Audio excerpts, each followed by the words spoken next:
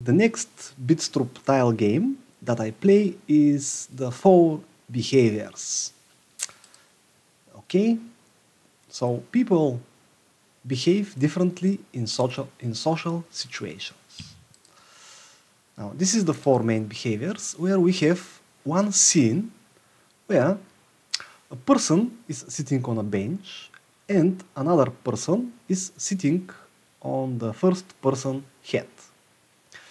So, this uh, second person may uh, behave in general in four different ways. Where the first behavior is the restless. Restless. Restless. Restlessers. so, these restlessers are easily irritated and tend to make every situation in a conflict they appear to be choleric in temperament.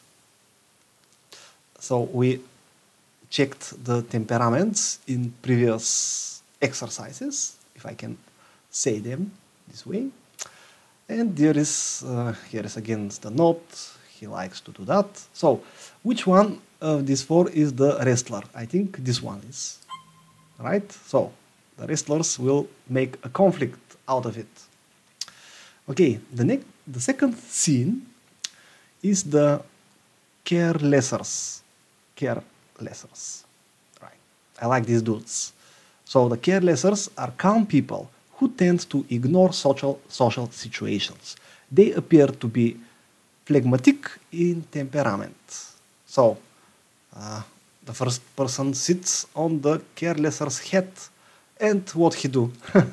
he is just he's just okay with that. All right, the next situation is uh, the drummers. Uh, these are the heaviest ones. The drummers are sad people who tend to make every situation into a drama. They appear to be melancholic in temperament. And that should be the drummer. He will cry about his head, right?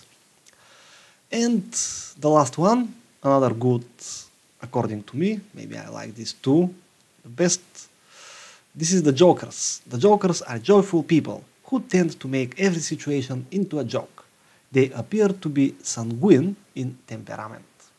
And that should be the joker. He will just laugh about his smashed head. This is in general the four main uh, behavior types. Actually, a person is not uh, only one of these behavior types. It is uh, a combination of some of these. And of course, there are other factors. This is for today, and happy Monday!